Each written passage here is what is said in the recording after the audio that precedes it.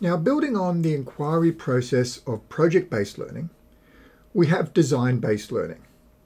Now, this again has a more specific emphasis on the design process, and in particular the iterative cyclical process of designing, where students learn through doing something and then redoing it. A um, little bit like we'd use in drafting in English um, or doing multiple problem sets in mathematics.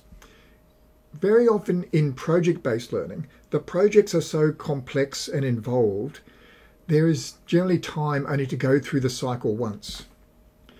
Design-based learning emphasizes the need to go through more than once, where students create their designs, develop their solutions, ideally have them fail, evaluate why they failed, and then go back and look at how to redesign and rebuild their solutions so that they are then successful.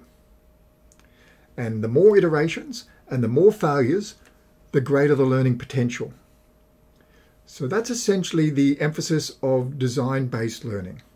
Still uses the project-based learning structure, but it has that emphasis on design and redesign through the process of implementing the solutions, having them fail, and re-engaging with that design process.